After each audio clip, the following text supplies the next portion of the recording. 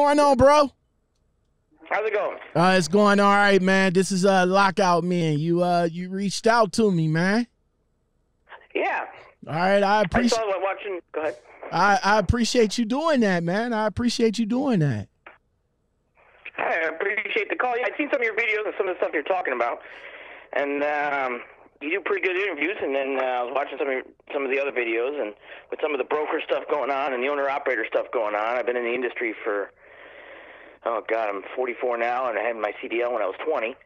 All right, whoa, whoa, whoa, whoa, whoa, we going, we going too fast. Hold on, let me, let me. All right. All right, so uh, let me, let me, let, let, let- all right, so basically, how I do my interviews is how how we doing it right now. We just chopping it up, talking, having a conversation, and all like that, going back and forth, back and forth. Um, are you on the phone or on your headset? I'm on the phone, All right. regular landline. All right, cool, awesome. That's that's that's even better. That's even better. All right, so let's go ahead and uh, get this puppy started. Then let's let's get it started. All right.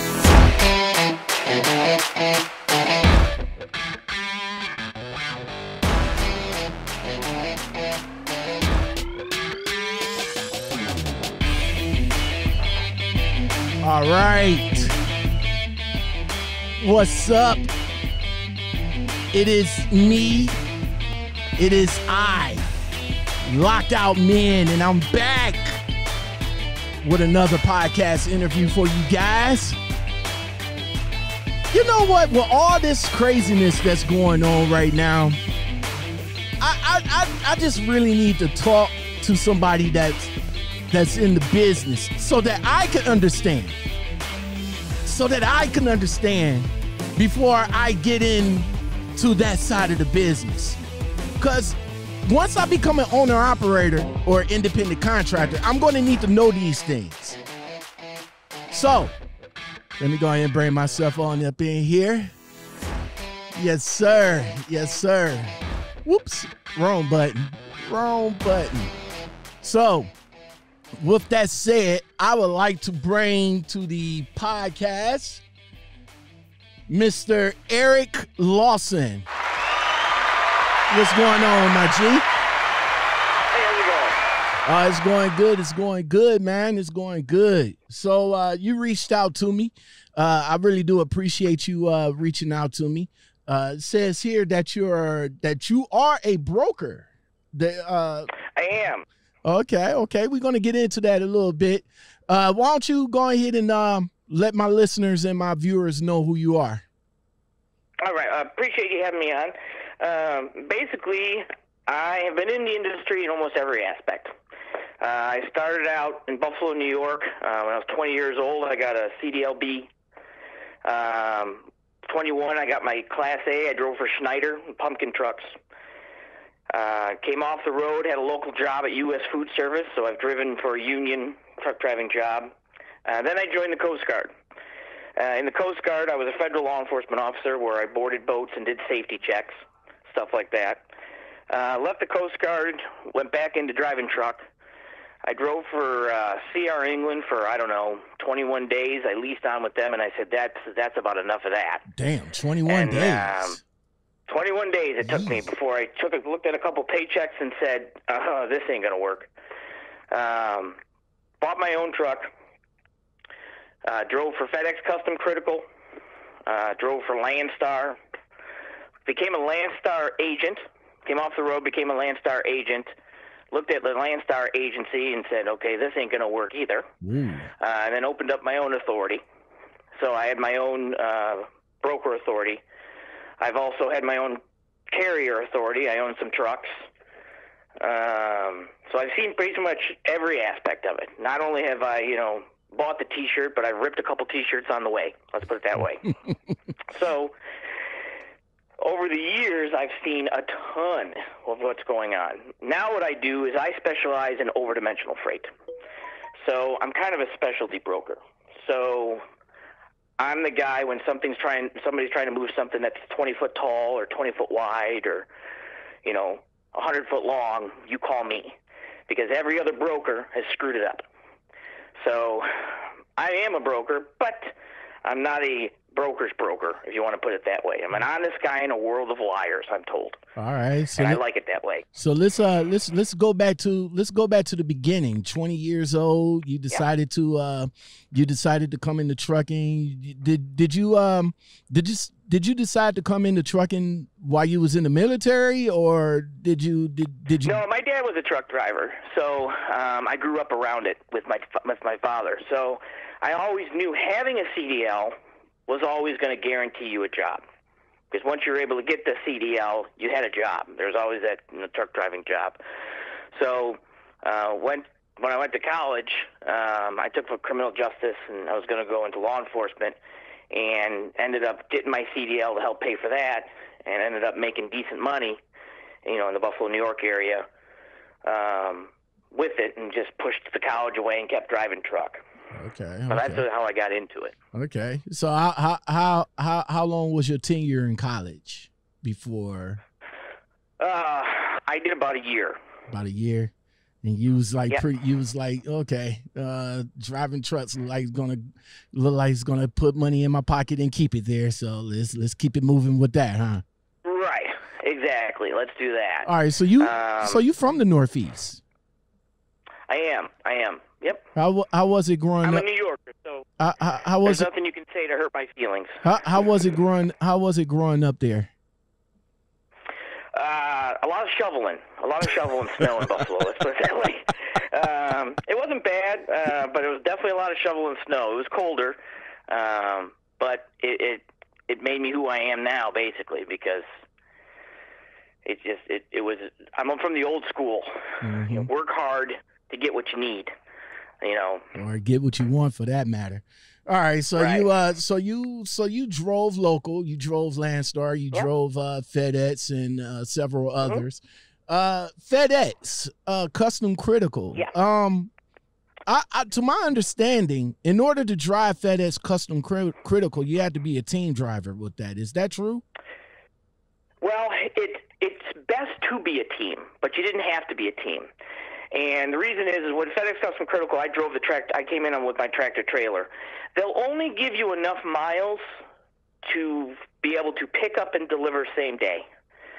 That's so that's solo driver, team, right? You can keep going. okay. Right. If you're a team, you can keep going. But if you're not, they're only going to give you two, three, four hundred mile runs every day, because they would assume that you can only drive 550 miles in a day. So if a run was 650 miles, they would pass me and give it to a team. Okay. Okay. So that's where I basically said, okay. My wife went with me, but we weren't team driving. Okay. Um, so it was just, it was something that that's one of the reasons I left there was because I wanted, you know, a little bit. Unless it was a weekend run, they basically kept me to two, three hundred mile runs. And you, to- you just felt you wasn't. i- Did they did they pay you good or was was the pay good? Some did, some paid decent, some paid uh, decent, it, it, um, and some were, you know, not the greatest. Uh, but it was definitely more. It, it's if for if you're younger guy, you want to go, go, go. I could do it, but when you if you were more, you know, it was a lot of roll up to the dock, load everything, drive 300 miles, unload everything, sit and wait until somebody else, uh, another run would come up. So I might sit two days before there was another short run for me to do. So it wasn't constant every day they had something for me. I could get one, okay, great, Monday's good, Tuesday's good, and then I'm sitting Wednesday, Thursday, and then Friday they'll find me something over the weekend that I could deliver Monday. And that, that just wasn't. If you're going to throw me short runs, you better short, throw me one every day. Exactly. That's how I feel. I mean, if you're gonna get if you're gonna get like 300, 400 mile runs, you gotta you, you gotta give me that every day. Other than that, I'm not making no money.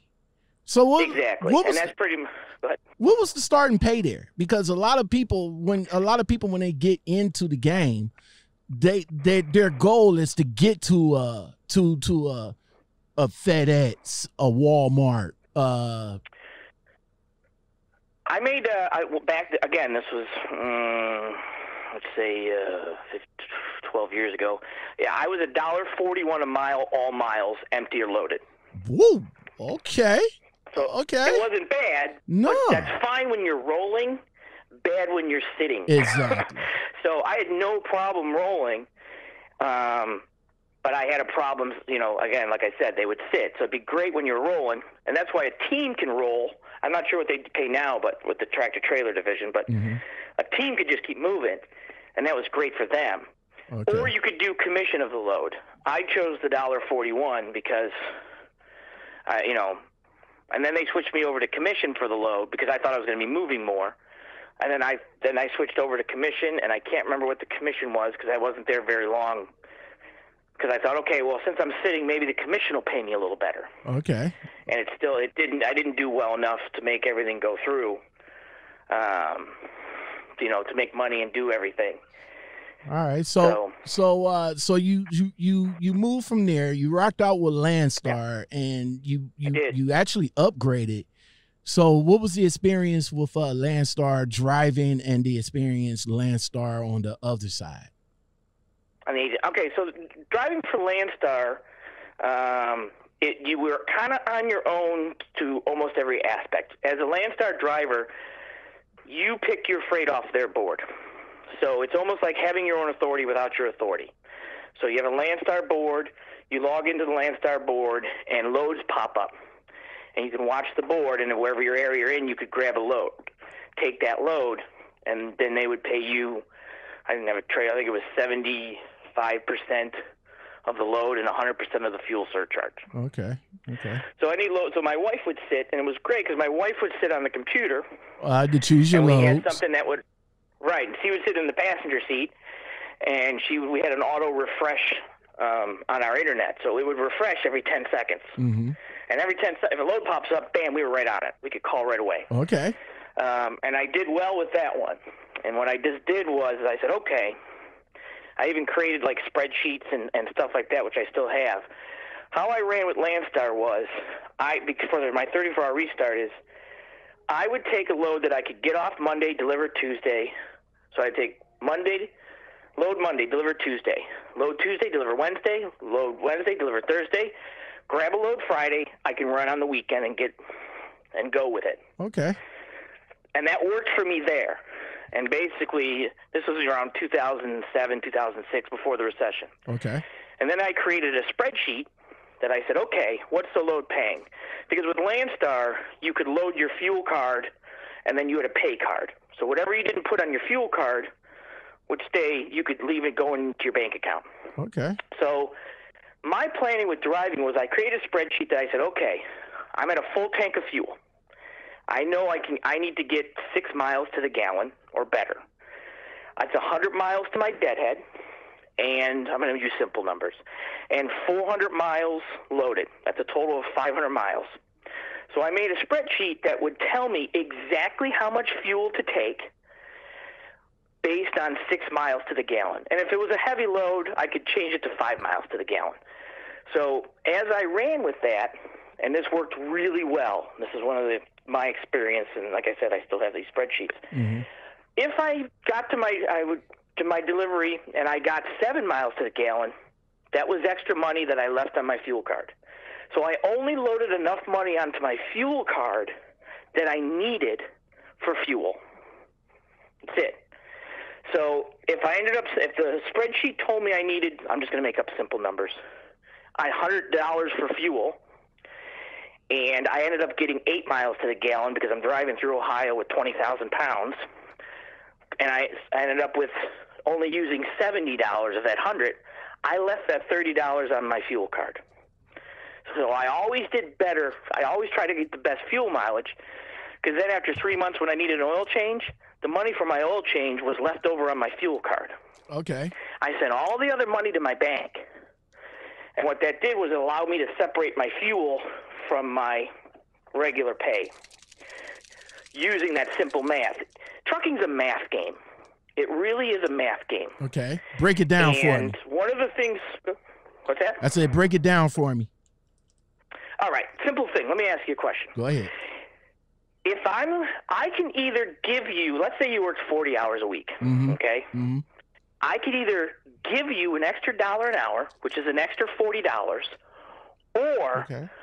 I could pay your, let's say your phone bill is $40, Okay. or I can pay your phone bill. So either I can give you $40 or I can save you $40. Hmm. Which do you make more on? Well, I'm I'm going to have to. I'm. I guess I'm going to have to go with the phone bill because if Right. I, do you if know I don't why? to Do you know why you want to save forty dollars rather than make forty dollars? Go ahead and tell me. Taxes. If I give you an extra dollar an hour, by the time taxes are done with you, you're going to only pay. You're only going to make what thirty-two dollars on that, mm. maybe twenty-eight, depending on what state you live in. Okay. But if you save forty dollars on something, you get the whole forty dollars right now. Okay. Okay. I I, I that feel make sense? that makes plenty of sense. And I'd rather have my money now. So- Yes, me. Yes, exactly. You want the lump sum, sir? Lump sum. Pay me out. That so that that's you want that now. So when it comes to owner operator, saving money, fuel consumption, uh, hauling a little lighter load so you get a better fuel if you can, that adds up to money in your pocket. okay. You don't. Some people don't see it. So I would look at loads and say, okay, this load's paying two dollars a mile, but it's forty-five thousand pounds. This one's paying a dollar ninety a mile, but it's twenty-five thousand pounds. Give me the twenty-five thousand so I can take seven miles to the gallon rather than four miles to the gallon, because that load is actually paying me more because I can save on fuel. I can save the money on fuel. So it's about looking outside the box sometimes with the numbers that you're actually making to to actually to see who's making sometimes making more. And that's why hear it's it's a very I know everybody in the world hates brokers now too, but that's how I looked at it when I was driving truck. You know, how can I take a load that's going to save me a little bit, a little lighter load? You know, well, this going to I'm going to have to run through this state of you know where it's only 55 miles an hour compared to 75 miles an hour. I'm going to get better fuel mileage. You know, things like that. Know, okay, here's what I'm going to do. My insurance is kicking the crap out of me. Can I afford a $5,000 deductible rather than a $1,000 deductible? I sure can. I'll go out and get a credit card for $5,000 and I'll stick that and I'll never use it. There's my deductible. Okay. Now, I call my insurance company. How do how much can it save me to have a $5,000 deductible rather than a $1,000 deductible? Well, it's going to knock your insurance down this much. Okay, perfect. That's saving me. So there's a lot of things to look at, to, to, and, and because your insurance agent, she needs to, or he, I have a, I had a female one, so they they work for you. You don't work for them. They and they think they work. They think you work for them, but they don't. They work for you. So if they're not willing to, you're not willing to go to them and say, "Hey, what can I do to knock my insurance down?" If she's not asking you questions like, "Well, how many miles do you run? Are you local? Do you run over 500 or under 500?" Well, I'm I'm probably under 500 radius from my house. That's a big deal. Let me give you an example. I had a driver that went. I my insurance was like 1500 bucks a month. My driver had surgery done. He was going to be off like a month and a half, two months. I called my insurance and said, "Hey, can we lower my insurance down to 50 miles and raise my deductible to 5,000 or the highest you'll let me raise it to? Because the truck's going to be parked. And there's no need for me to pay $2,000 or $1,200 or 15 for a truck that's parked. We did that. My insurance went from 1200 to 200 for those two months. Now, so if you're stop, if you're parking your truck, you want to call your insurance and say, "Hey, I'm going to be sitting here for a month, whatever reason.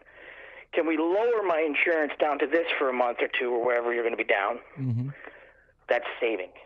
Okay. Some will, some won't. You have to find out if your insurance actually quotes under five. Some insurances they only quote unlimited miles, which is 500 or more from your domicile, which is your house. Mm-hmm. Some quote less. If they do, do that. That's saving money. It's playing the game. It's playing the system sometimes, Okay. Okay. So what? and that's the and so go ahead. Oh, okay. No, go ahead. Go ahead. I I, I was about to I was about to say And something that's else. uh, that, I'm sorry. That's part of the of the math game of of thinking outside the box and saying, "Hey, I wonder," making the phone calls and saying, "Let's see if this um, if I can do this. If they'll let me do this, or how would this make it better, or you know, and stuff like that." It, and the more math you know, fuel mileage. Um, especially when it comes to me with overdimensional freight, I'll explain this a little bit better. Mm-hmm. Math is monstrous, but knowing your numbers is another one. I don't know how many drivers you say, well, how much do you need, need to make a month? As much as I can. No, no, no, no, no. How much? All of it. Okay, we're, we're still not getting to the point here.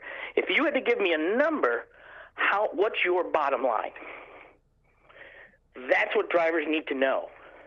And every month I had that written down. So when I went, that was my goal number. I can't remember what it was, but I would have to take more runs to make that number. Usually it took me two and a half, three weeks sometimes. Sometimes two weeks if freight was good.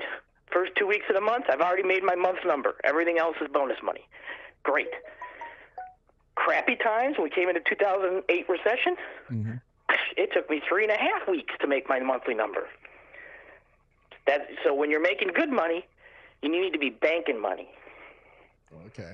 and that's And see, that's what that's where a lot of problems where where where owner operators and lease uh lease operators and independent contractors comes into play because when they when when when the market is good and everything you know they making money they they're not saving the money and they're, they're not saving the money when the market goes bad so when the market goes bad that's when they start complaining because they're not making no money that they didn't save while the market was good right Right. Exactly. Exactly. And that's that's one of the most important things. Have three eh, no business I'm sorry, not no business, but most businesses should have 3 months of paying their expenses in the bank. Because at any day those expenses profits could be turned off. When you're working for yourself, the faucet could be turned off at any time. mm-hmm And that's how you have to look at it. When you're looking for someone else, oh, it's endless. It's a money tree. They grow money trees out back. You don't. It's basically a faucet that can be turned off. So if it's turned off or slowed down, you got to be able to look at that. And that's when, like I said, okay, it's been turned off for one month. Where do I start kicking down in my expenses? Again, can I call my insurance? Is that something we can work? Um, you know, is there local stuff? You know, what's going on? You know, like I said, that's where people need to start saying, okay, where am I at financially? But if you don't have the savings, that's a problem. Okay. So you you you you you you are on both sides of the fence, sort of say. So let's go back. Yeah. So let's go back a little bit. What, what was your aspirations of uh of uh owning a owning a truck, and then from there you say you got your own authority. So what what brought you to what what brought you from just owning your truck and lease on to somebody to having your own authority to having your own trucking company? Uh, once I, when we owned our own truck, the re- recession came and, and things got slow. So my, we were in and out of Landstar and stuff, and my we were a lot of other agents. Like we, I worked well with agents. It, it's a when you look at a broker or an agent for Landstar or direct customer, if you're taking freight from them, they're your customer. Exactly. That's it. If you haul a C.H. Robinson load, C.H. Robinson's your customer. hmm If you treat them like a customer, you'll get phone calls back. Okay. So a lot of agents, I would go in and, and shoot a quick message. Hey, I'm here. Bam. You know, right to their email. Hey, I'm loaded. Bam. I'd take a picture of the load. Loaded. Good to go. Okay, thanks. So a lot of agents said, you know, and I was really good with customers. I'm, obviously, I'm a talker, just like you're probably really good with people. So we're talkers. We get in there. Customers like us. Mhm, mhm. In a good mood, you know, good attitude. That's- little, you know, that's- joke here and there. That's what you want to do. You you want to you you want to make sure you had that good customer relationship. Right. So Landstar basically, uh, we came in one day and they said, "Hey, are you interested in being agent?" Well, I said, "I'm a driver." I said, "Well, your wife can be the agent." And she said, "Okay." So she went to the agent class to become a Landstar agent to get our own customers. Um, now I had some contacts, but we had no idea what the hell. I don't know. I don't know what I'm doing. Right. Just go in there and wing it Wing it. Yeah, exactly. you know. So we and my wife, you know, good looking person. You go in there, you carry yourself right, and and people say, yeah, we'll give you a shot, you know. So okay, we go in, we do that, and we get a couple. Uh, we get a one customer, and with Landstar, I don't know if I'm just going to be bluntly honest. Landstar has what's called a co-broker agreement um, with everyone that signs on with them. Mm-hmm. So technically, I, as a Landstar agent, can grab a load from C.H. Robinson and put it onto the Landstar board. Mm-hmm. Okay. Now a land. Now I'm not supposed to double. I'm not supposed to put that back out to a broker truck, or I wasn't.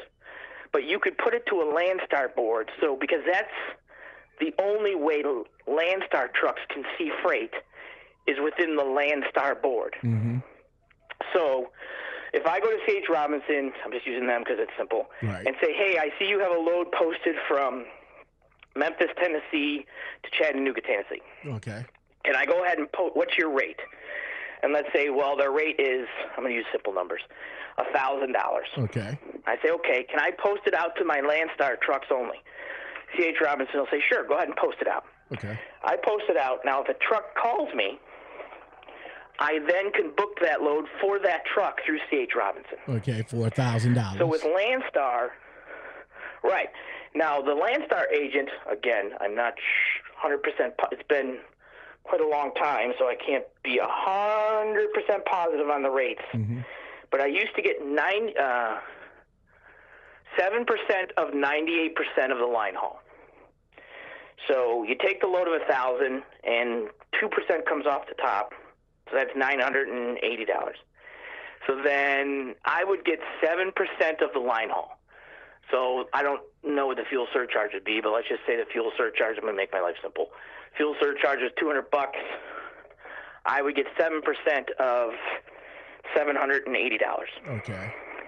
That's that's how a Landstar agent gets paid. Okay. Now, but the nice part about that is you don't need to know anybody, but because I can go on internet truck stop or I could go on C.H. Robinson, grab the load, throw it on the Landstar board. And if you have any Landstar drivers, that's why you see a lot of agents posting the same load because they're getting it all from the same C.H. Robinson person. Okay. Okay. So from Okay, but a Landstar driver wouldn't see any other freight. They wouldn't see that freight if the, the agents weren't doing that. now, mind you, guys, he's using Landstar as an example. Go ahead. Continue. Oh, okay. So then, so basically, she became the agent, and she was. That's what we did. We pulled loads off and threw them on there, and trucks took it. Um, and then I moved into. That was 2008. Started to get slow, and basically, um, I came off the road to help her with the agency. Uh, because trucking was dying, you know that was a recession. It was getting real bad, and I had to come off the road at that time. Okay. Um, I lost my truck back then because Now you was now at I couldn't. I mean, at that time you was leasing with with Landstar. Am I correct? I was leaving with Landstar and I owned the truck, so I got the truck through um, Freightliner. Um, it was a Freightliner deal. So in the end, um, I owed I can't remember what it was on the truck, maybe 15, but they let me settle for five Okay. because there was a lot of us losing trucks back in 2008. Wow. in the re- in the recession. You know, um, so that was my first. That's why I said I've seen every aspect of this, so I know what it's like, Okay. all up and down. So then what happens is uh, she becomes the agent, and I start. I knew about overdimensional freight um, before, and we start. I get hooked up with oh, moving overdimensional freight Okay. oversized, overweight, uh, on double drops and stuff like that. And I'm just the type of person that, uh, let's put it this way, I joined the military late, so when you got 18 year olds telling me at you know 26 what to do, it didn't always go so well. It never do. So I got in a lot. Of, it never it, it never the do. It's like it's like it's like it never does. It's- it's- you know, when you got an eight year old telling you to. I'm a mechanic also, and I'm fixing this boat. And they're like, "Oh, you got to clean that." I'm like, "I've exactly. never It never yet." do. You working that And they're like, "Oh no, it's got to look nice." I'm like, "You want to look nice? Let me show you look nice." If- the next thing you know, I'm throwing tools over the place. if you working that if you working in if you working in the fast food industry, that's that's what you got to contend with. You you got to you you got to contend with with younger jats telling older jats what to do, and it just don't feel good. yeah.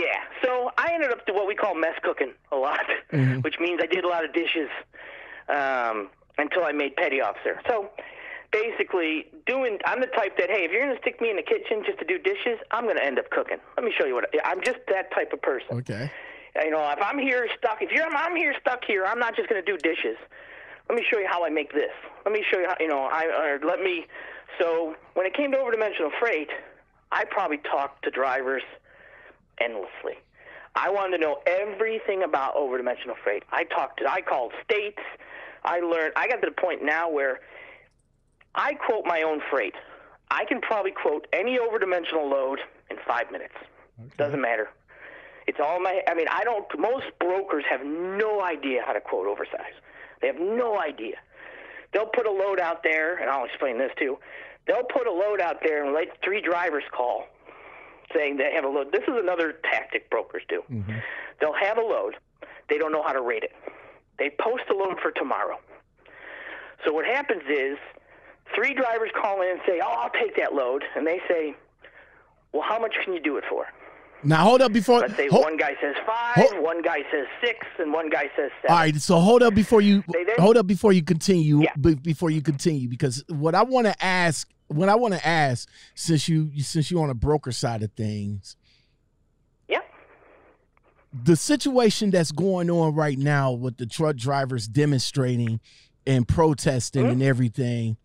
Uh, I I made a video about uh maybe about a day or two ago. Whose fault is it as far as the rates goes? Some drivers says it's you guys' fault, the broker's fault. Other uh, others may think it's the driver's fault. So being that you being that you you just mentioned that you you put the freight out there and now you got dri- you you got drivers call, calling in saying how much they'll do it for. Correct. So Let me. You want me to make this easy for you? yes. All right. Simple thing. Tell people to stop. Hang on. Okay. Oh, I'll ignore that. Tell people to stop looking at this through the view of a poor person. I know it's rough. I know I'm blunt. Remember, I'm a New Yorker, so I'm blunt. And start looking at it through the view of a rich person. Mm. And what I mean by that, Mhm. what I mean by that is, I let's let me put it for example. You're a customer and you make widgets. Okay, you're a widget manufacturer, right? hmm Uh, you need to move your widgets. You call me up. I'm a broker, and you say how much to move. How much to move these widgets? I tell you five thousand dollars. Okay. Again, let's just use simple numbers. Isn't it kind of your job as the owner of the widget company to make sure that you're not getting robbed first? hmm I mean, wouldn't you want to make sure that I'm not selling that for two thousand dollars? Okay. if I'm a shipper, if I'm making something, my job is to make money, which means I can't lose money. So I have to oh, I, it, trust but verify. Reagan said, "Trust but verify." If a shipper is allowing that to happen to a driver, then a shipper is also getting ripped off, right? I mean, they're getting ripped off. If I'm selling it, by charging you five thousand dollars, and I'm that person, that broker's selling it for one thousand dollars or two thousand dollars, I'm losing three thousand dollars for what? Tell me why. If I'm a shipper, I'm going to call you and say, "How much did you? Okay, the truck came and picked up. Uh, how much did we move it for? With, with how much did you move it for? Because I got no problem telling my customer because they know I'm worth the money. Because I'm the person with my with overdimensional. I could be sitting on the on the phone with states trying to get a 15 six or 16 foot piece through Kentucky tall. I'm sorry, 16 foot tall, and I got to contact 17 power companies to get clearance to run through this. Here's my time on the phone with Kentucky. So for me, That costs money, I got no problem. So when you first person to blame that allows a broker to take advantage of them. Okay. Is how I look at it. Okay. That's first. because let's face it, they're taking advantage of them. The second is any now again, this is a broker that is price gouging. Okay. Okay. Okay. This is so a not not not all of them do this. I'll explain the other situation to you uh, right after this. So let's say that they're getting this, and the broker does that, and a truck takes it. The problem is, if a truck can afford to take it for let's say a dollar a mile, because it's getting him right. He had a direct. Remember, at one time, the broker board was for backhaul. Mm-hmm. You had a direct customer that, let's say, paid you again. Let's use simple numbers. Paid you two dollars a mile to head out, and you needed to get back to that customer to haul their next load. Okay. So you took the broker board and you jumped on the broker board, and you might have took that dollar mile to get right back to your shipper because you wanted to make sure you, you were back for your shipper's needs.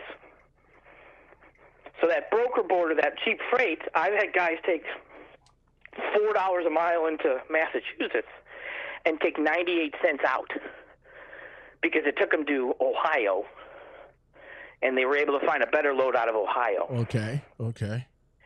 That so uh, this, we're back to that math game, and the math game is okay. I got a load going to Massachusetts that's going to pay me four dollars a mile. I'll take the load up into four dollars a mile.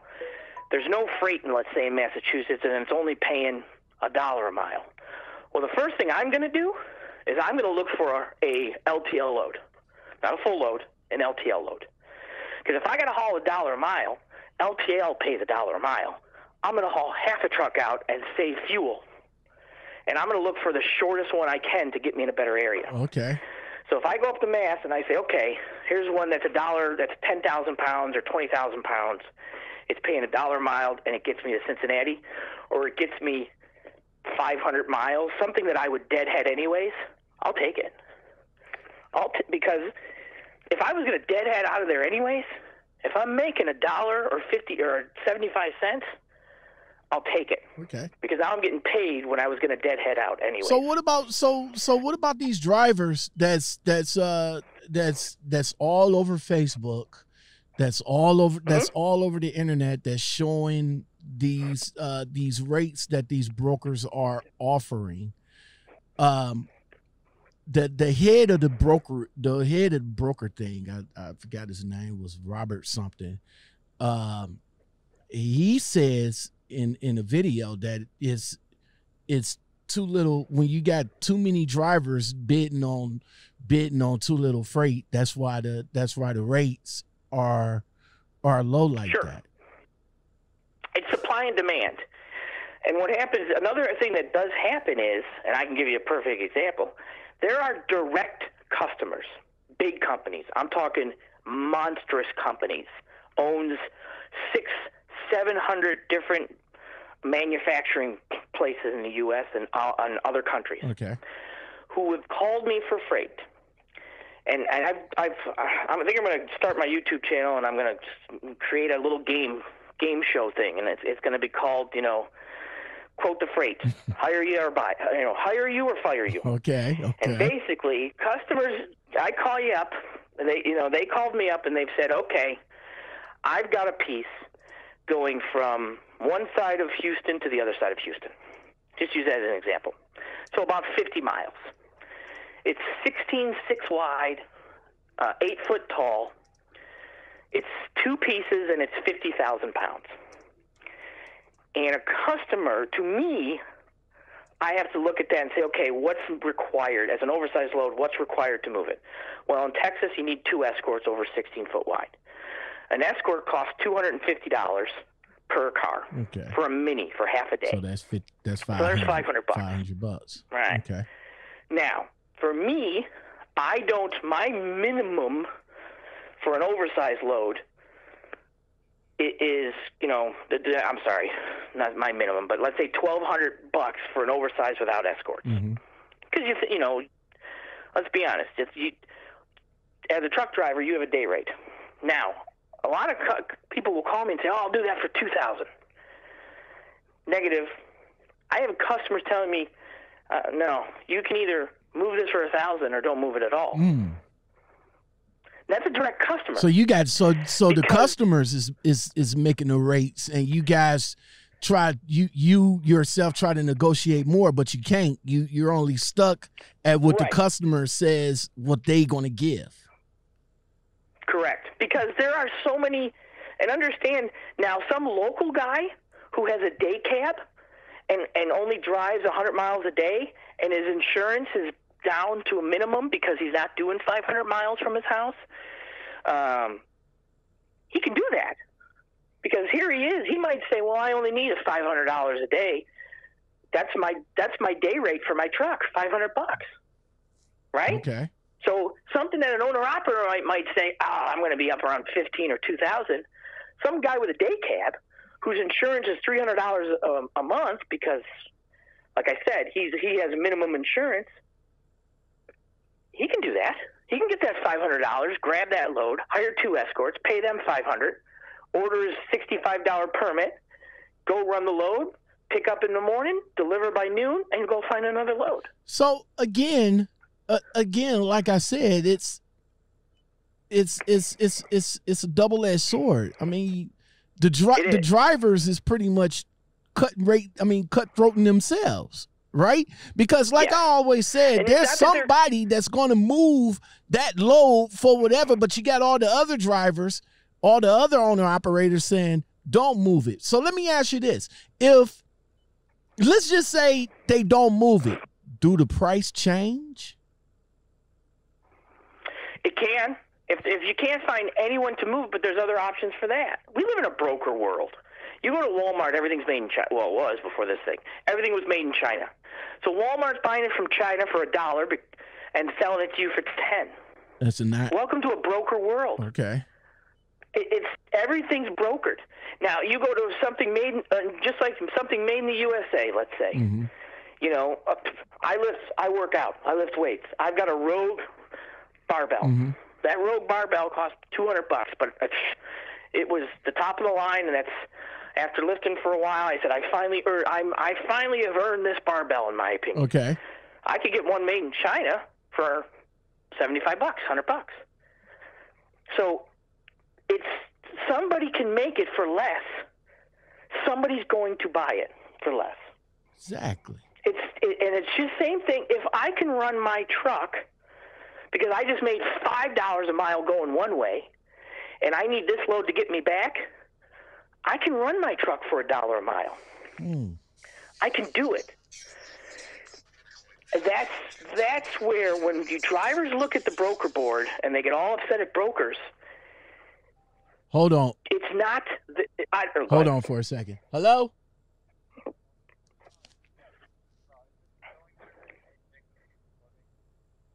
This is who who?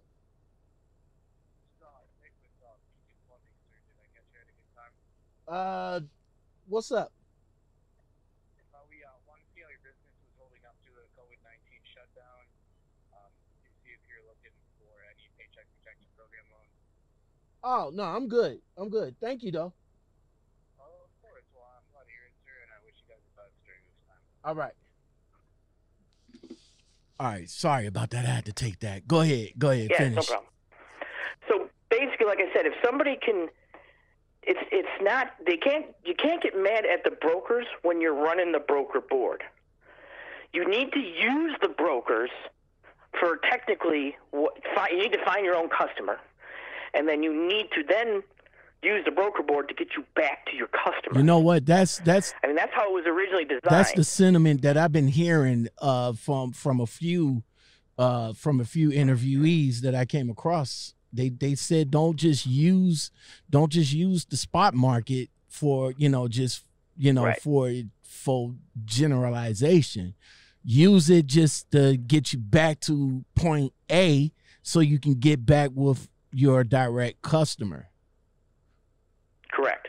And that's where, now, if you choose to use the broker board, you can find the brokers that will eventually give you more money. Because let me put you this way, and this is another thing too. If if I don't know, I'm different because I know the people who haul for me because I'm a control freak. Mhm. So I talk to my drivers, I make sure they're knowledgeable. But if I know you, I'm gonna try to get you more money But if you're it's your first time hauling for me and you haven't, even as a broker, and you haven't proved yourself to me that you're going to tell me when you're there, show up on time, you ain't getting top dollar. I'm not giving it to you. You got to earn it. Earn more money. Move even, and that's how I treated some of my drivers. Because I've had drivers say, I- none of them can tell time. I'll be there in an hour. Seven hours later, all right, I'm here. What? What happened? Traffic, You know, I- I- why am I calling you? Why didn't you accidents. call me? accidents, You know what I mean? Now- construction. Right. I have had drivers. I whoa. So you want to hear the good one? I've had drivers say that somebody cut them off. The load shifted, and not didn't fall off the truck, but drove itself. It was sitting on saddles. It dro- fell off the saddles and drove itself into the into the truck, into the trailer. Calls me up and says, "Oh, somebody cut me off." Day later, I get a YouTube video of him hitting a bridge. what? yeah, you, So he told me that somebody cut him off when actually he hit a bridge. Uh, hello? exactly. so it's just one of those things that even working with brokers, you get once you get someone you work well with, you set you hey, I'm here, I'm loaded, I'm leaving, I'll be there tomorrow morning at eight. Tomorrow morning at eight or seven thirty, I'm hey, I'm sitting here, I'm ready for it unloaded, I'm empty. You got anything else? Oh, okay, and that that person eventually to, hey, I'm starting to prove myself to you. There any way you can find me some of the better paying loads? that and that goes that Ask you know what that goes straight across uh straight across trucking you know e- even as a company driver you start to show and prove yourself of course you're going to start getting the better loads so you be so Yeah. so how long you been uh how long you been in a broker game Um, about 10, 12 years. 12 years brokers, 10 years oversight. all right so over so oversized what's what's the going rate Mm-hmm. for for oversized load Oh, God, it varies. It, it varies because with oversize, um, size matters. It's just like in life. It's the only thing that deals with, thank God, size matters, because if not, you know, I'm in trouble. But basically, um, every aspect of it is different because you then need to either use different equipment, which costs more. So it's very difficult to quote um, an oversized load unless you know the dimensions of the load itself. That way I can know what type of equipment I'm going to put it on and how long it's going to take to do it. so how So How often do drivers call you for for oversized loads that uh that that give list I'm I'm playing devil's advocate here that that gives you one one dimension or one size just to get that load and then when they get that load you you find out that they can't move it. Uh, never. For me, though, but that's me being a control freak. Because the biggest thing with me is when they call me, um, with oversize, you need to know your equipment. You really need to know your equipment and everything about your equipment. It's huge because it matters. So when they call me, if you're, I have a step deck load, I'll say, hey, are you a low pro step deck? Yeah. What tire? What's your tire size? Uh, 22 fives. I'm like, well, all right, you're not a low pro. Low pro is 17 fives. What's your deck height? Uh, 38. That's not a low pro. Low pro is 32 to 34, maybe 35. So you don't even know that you're not a low pro, but you're telling me you're a low pro. Click. I, I don't. You know what I mean? So for me, I don't. If they're telling me that they've already, you know. So I've I've had people tell me and says, "Oh, you, how much you paying for that?" Let's make up a simple number. Uh, it's 200 miles. I'm paying you know thousand bucks. It's you know 10 foot wide in Texas. Oh, you need escorts? Really?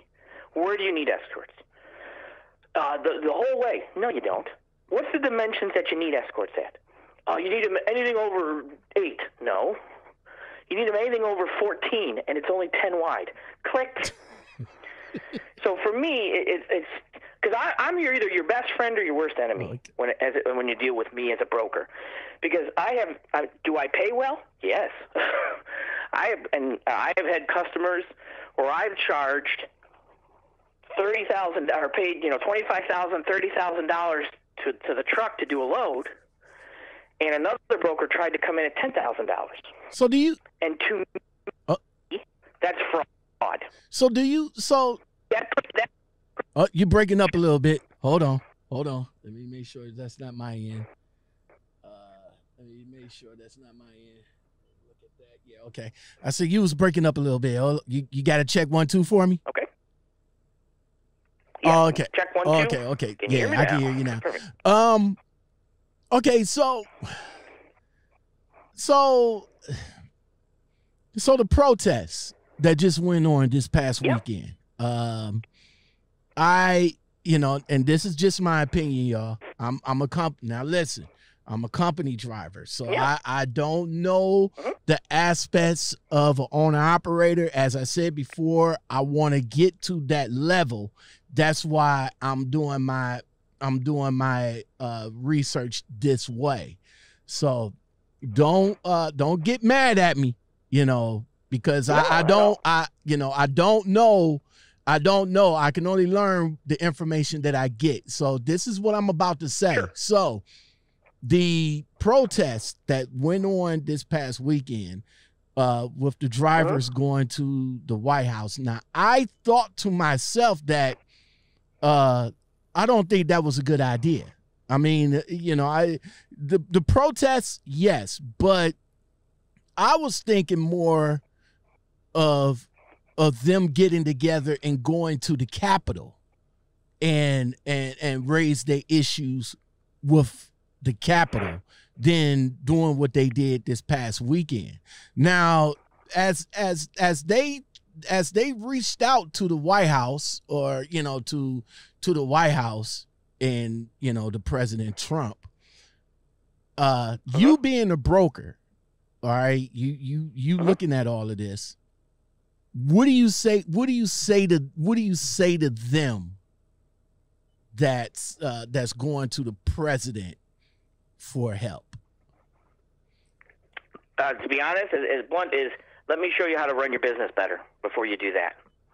And the, I, I'll, and I have no problem taking the time to do that with people, honestly, because I once was a company driver, I once was an owner operator, and I thought the same thing. Now, are some brokers gate grabbing money? Absolutely. And I've heard a lot of guys saying, "Well, we should have a minimum of two dollars a mile for all loads." And let me break, explain something. Yeah, because Let's say we that happens. yeah, it, it, If you go and you create a two dollars a mile for all loads, minimum wage.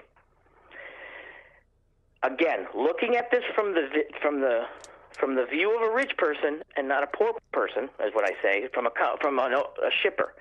If I was a shipper shipping widgets, and you just created a minimum wage of two dollars an hour for all trucks, I'm buying trucks because there's there's no way for me to lose. There is it's a no lose situation. I will haul my own freight because every time my truck leaves, it's going to get two dollars a mile, and every time I grab something on the way back to my, I'm going to get two dollars a mile. If I'm if there is no loss, if there's no way for me to take a business loss in trucking, because I'm guaranteed two dollars a mile, I as a shipper will invest in trucks and haul my own freight. that's what Amazon did. I don't need an owner operator, Uh, and I will hire drivers and pay them twelve bucks an hour because I can tell you, my customers have some of their own trucks, That's what Amazon did. and they did that. Amazon. That's that? what that's that's what Amazon Yes. did. Amazon. That's what Amazon, Amazon did you that. will see more. You will see more Amazon Mhm. because when there's no, the reason why customers don't is because it's hard sitting and trying to find the best load, and it's and, it's, and you have to hire a dispatcher, Mhm. and then you might take a load that you could take it as a loss, and you don't want to lose money on the trucking. So if you make it where you can't lose money trucking, who cares? Send them out and grab the first load that gets them back. It's it's by law required to pay two dollars a mile. Every shipper will start to buy trucks, Mm, and they'll start to hire company drivers mm. Because a lot of owner operators, a lot not owner operators, but a lot of over the road drivers Mhm. do it to get the experience to become a company driver and become a local driver. Mhm. So if I can say, hey, you're out one day, you're back the next. And then any other day you're not driving, you're working in the warehouse or you're you're doing, you know, you're working in the yard moving stuff. They will do it. You know what? Amazon. You know did it. what? When you when you you- talk about when you when you talk about that, I I I I really haven't I I really haven't seen that until you actually mentioned it, and I was like, that's exactly what Amazon did because Amazon Right. Amazon pretty much it well they still doing it. They they cutting out the middleman. They they cutting out they Correct. cutting out uh FedEx, UPS. They already cut them out by having their own little fleet of sprinter vans and having their own, you know, having their own delivery, you know, people doing that. Now they cutting out the air the the airlines. They got their own planes now. And now they got now they now they're they're they're they're getting more and more tractor trailers now because they're they they they cutting them out. And when you Correct. got and this is and when you, where oh go ahead this is. go go uh, Go- no, no, go ahead. no and when you got when you got companies like Amazon, you got companies like well Walmart even though they have their own trucks, you got companies like them that's thinking more and more like Amazon like yo why why do we need to contract with the with with the, with the companies and the brokers? We got our own trucks. Perfect example. Perfect example. If I told you you were guaranteed two dollars a mile on every single load you moved, would you get, would you still be a company driver? No, I'll be no. No, because there's no risk. There's no risk. Nope. Right. So if I'm a shipper, I'm buying. So I I got again. If you think the, through, if you look through the view of a rich person, not a poor person, I say, buy. I'm buy, uh, we're now buying trucks. Go out and get some trucks. Find some drivers. Put an ad out. Home every other night. You know, out one night, back the next, and then you work in, and then you work. You know, only out three nights a week or whatever, and then you rotate drivers with warehouse. Every single person in my warehouse that I would hire, I'd have them go get their CDLs. Mm. I would train them. I would train them with a truck. I'd hire one person for tr- nothing but training drivers in house. This is me looking through. Now again, a rich person. I'd be like, every hey, you want you want to earn your truck driving license? You come in on Saturday, and we'll train you. We'll have a driver here, and we'll start training you guys how to get your CDLs. And then you guys can go take your road test in our truck. You come back, and then you can work in the warehouse and be a driver, and you get an, I don't know, I'm just going to make some simple number. You can make an extra dollar an hour. I'd do it all day long if I owned a company like any company that shipped. I would absolutely buy trucks, So what do you, even if I could cover half of the freight. And it would, st- and this is why owner operators aren't thinking like, what's going to happen if we do do that? It ends risk. Every it you have to have risk to get competition. Perfect example. Tell me something in life that's free that everyone has that's worth something. I'm going to say air because nothing in life is free other than the Well, air you that's what I'm breathe. saying. There, there's no, if everyone has it, if everyone has it, it's free and everyone has it. It's not worth It's anything. not- okay. College. College is when when when when you went to college and the government said we will back your loans. College prices skyrocketed. You create a two dollar minimum wage, two dollars on minimum wage. Insurance is going to go up. Repairs are going to go up. Everything's going to go up because they they see that you're making more money guaranteed, so we can up the price a little bit. Mm. So you need to have competition. You need, if you create that, oh, we need more regulation on brokers. No, you don't. The only thing you would that would stop a broker, I truly believe a broker should have to get, is some type of license like a CDL driver, obviously a, a certification. I should have to take a test, mm-hmm. not online, but at a testing facility, just like I have my, I don't know, I have my Safe Serve certification, mm-hmm. for, so I could cook. I had a food trailer. I had to go to take it to a person, take a class, and take a test, and pass this test to get it, and it's good for four years. My opinion, just like a CDL, I you want to, you want the broker to have to have something that he can lose. If I could lose something, I'm more cautious about it. All you need to do to end some of the stupid with brokers is give them a license, just like a medical doctor. Hey, if you lose your license for malpractice, like a doctor, you're toast. If you lose your license for fraudulent services, You're finished. you you can't do it anymore. You're toast. It's we're pulling it. okay. That threat, me working so hard to get that, that would slow down a ton. Because I see brokers in my side, and, and you can ask any of your drivers that pull over dimensional freight. Brokers, when it comes to over dimensional, are the dumbest people on the planet. Hmm. Because I have brokers all the time. I have had phone conversations with my customer that they said, "Oh, this guy says he can do that load for five thousand dollars, and you're charging me twenty. Get him on the phone. Do a three-way call." If if if you are happy with it, I will tell you if he can do it for five thousand. But get him on the phone. Let me ask him some questions. Mm-hmm. If he don't know the answers to the questions that I'm about to ask him, don't hire him because he doesn't know what the hell he's doing. So I'm not the I'm not a broker's friend.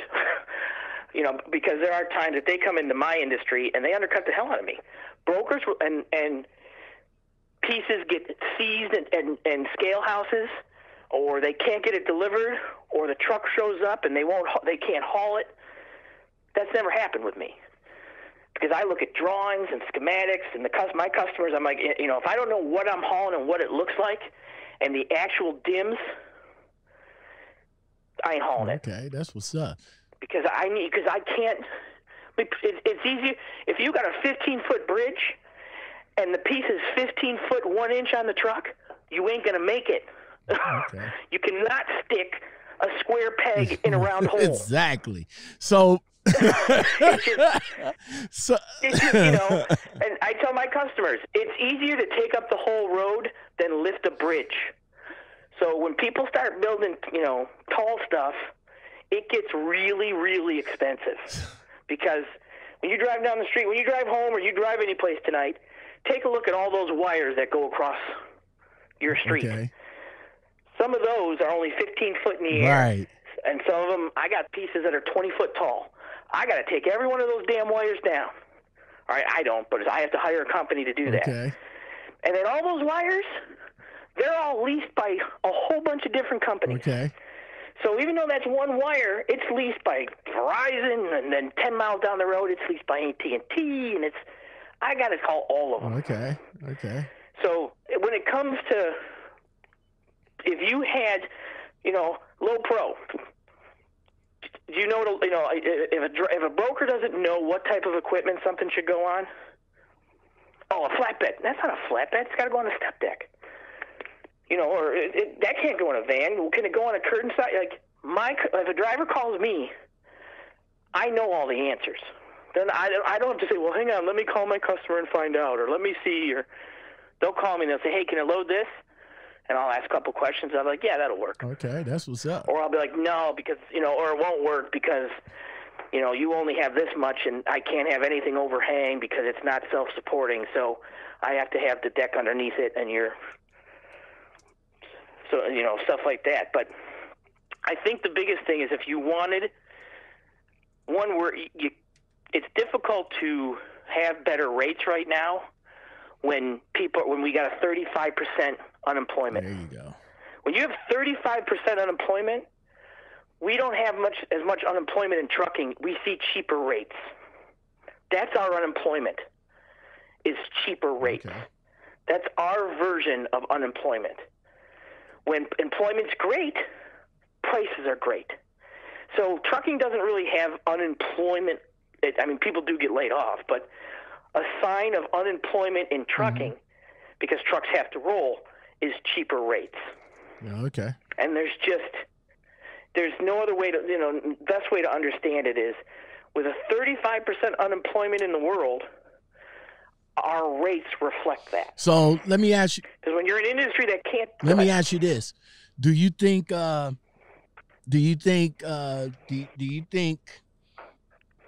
With what went on this past weekend, and uh, and the message that uh, that the president sent out, uh, saying, "quote that I'm with truckers all the way." He uh, thanked them for meeting the representatives, and he says it is all going to be all right. Would uh, would he? Would, his theory his theory of it's all going to be and I like Trump But his theory of it's all going to be all right is business is going to come back, and truckers are going to be happy again because he understands. Trump is someone that is in real estate, but he's also handled. I can't remember if he made shirts. I can't remember what he did, but he, anyways, he did stuff. He had his shirts made in China. Yeah, he had all his stuff made in China. right, perfect. And the reason he had it made in China, it was cheaper. Exactly. Let's face it. Okay, he's always a business person. Mm-hmm. So Trump knows that in bad times, shit don't pay. Excuse my language. I'm sorry. Stuff don't pay. It doesn't Oh, pay. you're good. So he knows in bad times, I can't charge. Perfect example. If I'm a widget maker, and right now my widgets are non-essential widgets, Uh, this is crazy stuff. And let's say normally I ship out 10 loads a week, but nobody's taking my widgets because it's they're not essential. So I'm only having about two loads a week of people that are taking them. I'm and so instead of but and this is the biggest thing also. When an industry, when my widget company starts to look at places where they can cut money, just like a trucker starts to look at places where he can save money in regards to insurance or better fuel mileage, businesses look at their business the same way. So when I start to see, can we make payroll this week? No. Uh oh. Where can we start to save money? Well, we can't shut the power off. Well, maybe we can go to a four day work week. If we go to a four day work week, four tens, on that fifth day, we can shut the power down at the plant. We're not using electricity. Okay, let's try that. Some of this other thing, well, can we, you know, we have to lay off. But one of the first things they do before laying off is, well, we just paid $2,000 to ship this load. Can we ship it for less? Because if I can ship it for three, four hundred dollars less, I can make I can pay Jimmy and keep him on for another week. Right. So a lot of times when I'm like, when I'm bidding project freight, the last place that people pull money from if they go over, I mean, sorry, the first place is the transportation end of it. It's unfortunate, but it's the only fluctuating because you can't pay less. You know, if you're a union welder, I can't pay you less money. You know, if you I can't pay the if I use so much electricity, I can't just pay less electricity because they're going to charge me. You know, they're not going to say, "Well, we'll give you a deal this month." So I have to find places to be able to cut money from. And if transportation, if shipping is one of them, a lot of these customers are now coming to their brokers and saying, "I don't have the two thousand dollars to ship this, but I need to ship it. Mm-hmm. What can you do it for?" Mm. How, how much can you save me so I can stay open another month? And, you know, that we can fend this off. And when things are booming again, and the first thing a broker's going to say, or anyone's going to say, for example, if it was you, if I came to you and said, hey, you're, I'm your direct customer right now, okay? Uh, I got to close my doors if I don't. Is there any way you can do this for cheaper? You've been with me for years. Is there any way I don't care. It, can you pick it instead of picking it up tomorrow? Can you pick it up Friday? Um, but is there any way you can do this for cheaper? Because I I got no choice because I don't have the two thousand dollars to ship it. I don't have it because nobody's buying my widgets right now. You're going to look at it and say, okay, let me see what I can do and you might be able to put something together and say, well, if I do this, I can do this load, I can pick that load up, and I'll have a load coming back. Okay, yeah, I can do it for sixteen hundred, but that, I can't go any lower than that. Okay. And and that's just, and I'm doing that because I've been with you, and I was able to find a load right back to cover my difference in that money. So That's what customers are. That's what customers are doing right now so too. the customers so so it, it, it, the, the, the, point of the matter is it's not it, it, it's, it's not like you said earlier it's not just the brokers making the prices it's the shippers and the customers that's making the prices. And then the brokers would try to figure out how much money they can make out of out of the amount that the shippers and I mean shippers is offering you, and then with that is what you offer the drivers. Yeah, or I have had times. I've not a lot, but there have been times with some of my customers that somebody's like, use this example. Hey, I've been paying two thousand. I only got. Uh, we've had some laws. We've had this. We're a slow time. I've only got eighteen to move this. I've paid the I've paid the extra 200. I've taken a loss on that load to help a customer out because I've known that this customer is going to stay with me for one, and they did, and two, I, I I've made some you know I've made decent money on some other runs that I've had that in the bank to be able to cover that. So there are, and I have taken loads from brokers. Trust me, after they have screwed things up big time I have taken loads from brokers that they have paid me twice. I took a load. I had a specialty trailer, and my trailer's design. It's called a perimeter frame. It's circular at the bottom. It's designed to haul round things, so I can carry it six inches from the ground, where most double drops are 18 inches. And they couldn't get it through a state that I could, and they took a load for I can't remember the numbers. Let's use simple numbers. They took it from the customer. It wasn't my customer. I was just it was somebody else. They took it for ten thousand. Well, they got it there, and the guy loaded it, and it got. He couldn't get it into the state. He couldn't get a permit. The state would not give him a permit. It was too tall.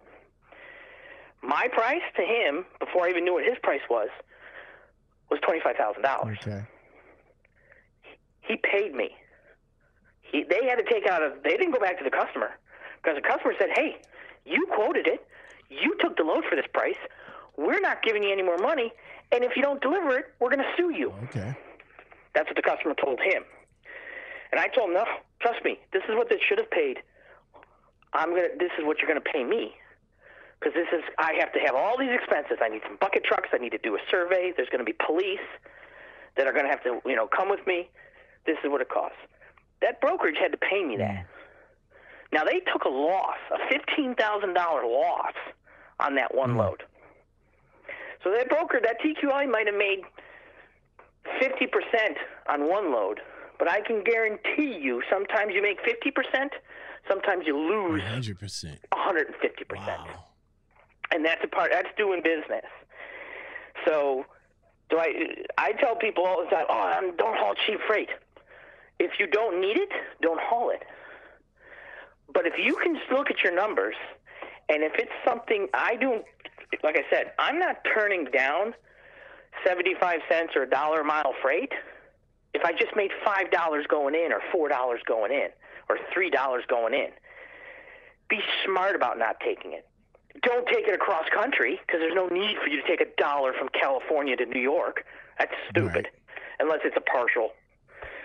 But if it's something that you can take it for 300 miles or 400 miles or 500 miles and it gets you from Maine to Pennsylvania, where you can definitely find a load out of Philadelphia, take it because you're going to deadhead out of there anyways.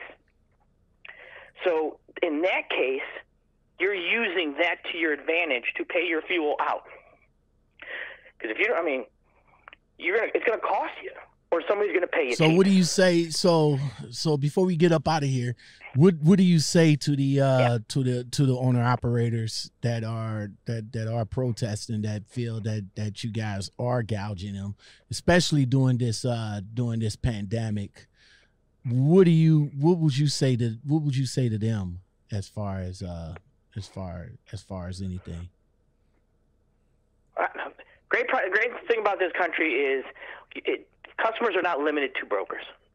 If if you don't like the way a broker works, you can either find another broker, or you can find a customer and say, "Hey, I, I tell people all the time, if you you have somebody get some business cards together. Say, hey, I live in this area. I know this area. I'm a road driver. I've got this much experience. Here's my business card. Uh, Can you just where's your transportation office? You hand it to the transportation guy. Say, look, I'm from this area. Um, this, you know, you guys, I can be here anytime or whatever.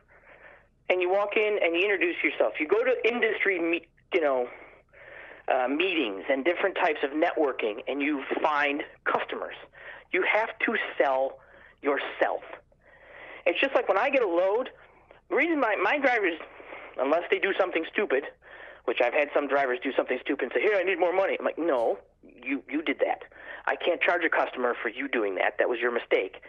L- learn from it. But I've gone to bat for them that haven't. And it's and I look at my brokership as tell me how much you need. I'll tell you how much I think it should pay, and here's why. Now it's my job to sell my services to the customer. It's not my job to sell your services as the driver. You have to sell your services to me. I have to sell my services to the customer. And if my cust- if my services are worth one hundred dollars or one thousand dollars or ten thousand dollars, that's my job to to sell my services. So if if a if an owner operator doesn't like brokers, find another broker, mm-hmm. build a relationship with a broker, know him by name, send him a picture of your truck, send him a picture of the load that you're hauling because brokers love that because they have no idea what they're hauling sometimes. So seeing a load is like, oh, that's so nice. Find that relationship, or get yourself some business cards. Get throw some clothes, get clothes on, walk into a transportation office, and say, "Hey, I'm from this area. I grew up in this area, or, or however you want to do it. I know you don't need me right now, especially right now. Right now, you should be doing this. I know you don't need me right now because of everything that's going on, but you will. And when things start to pick up again, and we start booming again, your original people that you that were you hauling for you might not be around. I will. Take my card, take my number. I'll check in next week and see what's going on. Okay, that's what's up. And that's how you need to walk into because once you have that customer, then you're only using the broker boards to bring you home or to bounce you someplace else if, if that customer has multiple locations. But either way, now is the time to be printing business mm-hmm. cards and showing up at the doors and saying, hey, you won't need me now. I understand that. I'm not asking for that.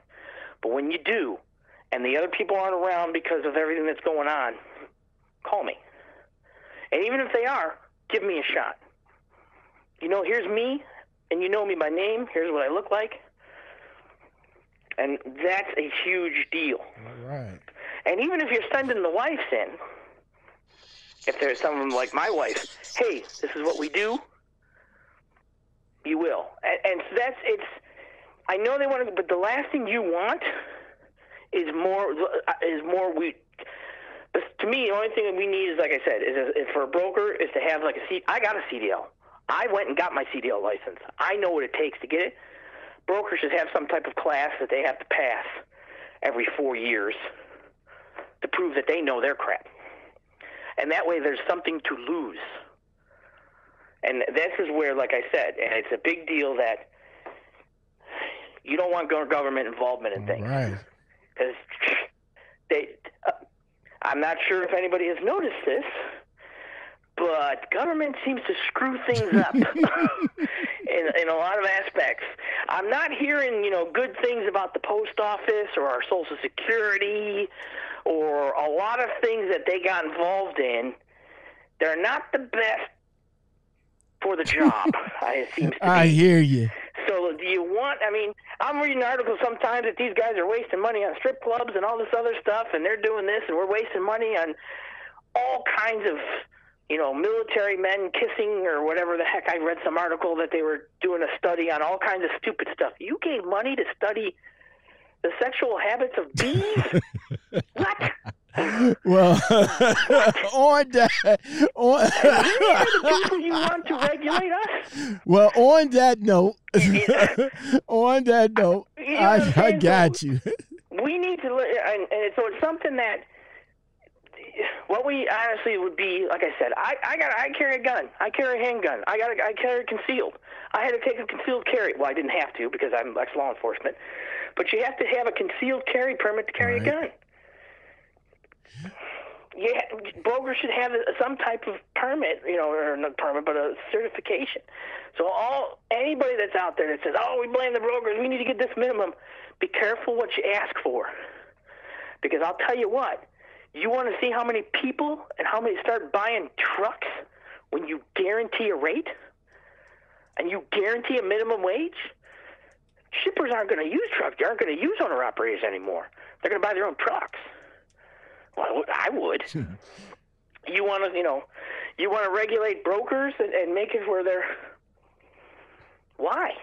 Well, because I'll tell you what, when things are booming and everybody and, and brokers can't find trucks, and they have to, because I know I've done it to do it. You have to pay three dollars a mile to go from Texas to Colorado, or four dollars a mile to take a legal load to Colorado. Nobody complains about brokers. So if if that's the case, then it's not the brokers. Something if if if something fixes itself, it's not the brokers per se. Now, are they gouging? Sure. But on the same thing, do I get truck drivers that take my loads and never haul my freight? They try. It's huge when it's you know a driver says, "Oh yeah, I'm a trucking company," and the truck that shows up isn't even the same DOT number that I gave the load to. that happens on the trucking side too. So if it's if it's fixed, if money can fix the problem, it's not a problem. and on that note right there, whew, it's great conversation, man. Erik, uh, I, I I do appreciate you reaching out to me and uh, talking to me and you know getting me uh, getting me a little bit you know giving me a little bit of insight on uh, on on the broker side of things. Uh, Erik Larson, he is the he's a brokerage firm, uh, oversized freight and specialist. You could get a hold of him at 731 438 4888 or you can email him at Erik Larson at J what's that? J J Leggett. No, let's do office. It'd be, it'd be let's do office O F F I C E at J E L Juliet Echo Lima agency A G E N C Y dot com. Okay, okay. He's uh, I'll tell you what. Next, you, you set your you, set yourself up a call. You find some overdimensional freight. Put it out there that you're looking for some overdimensional Mm-hmm. drivers, and you call me up and we'll do a call-in show. okay. And we'll play the the, the we'll play the uh, price it game. And I'll give some I'll give the guys some some loads that I've done, and then wherever they are, I'll tell them if they're either fired or hired. But I'll break down why. I'll explain what why they were either too high or even too low. Because I'll tell you what, there's a lot of overdimensional guys out there that don't you know they're not really sure how to quote their own freight. And a broker gives them a number, and they say, "Oh yeah, that sounds great," and they get themselves in All trouble right.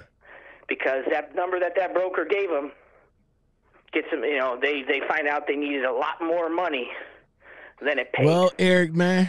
so if that's something you're interested in doing, I'll do All that right, we'll you. we'll put it. Well, we'll go ahead and uh, we'll go ahead and uh, put that together in uh, in, in probably the next uh, couple of episodes, man. Well, Erik Larson, thank you for joining me, man. I really do appreciate it.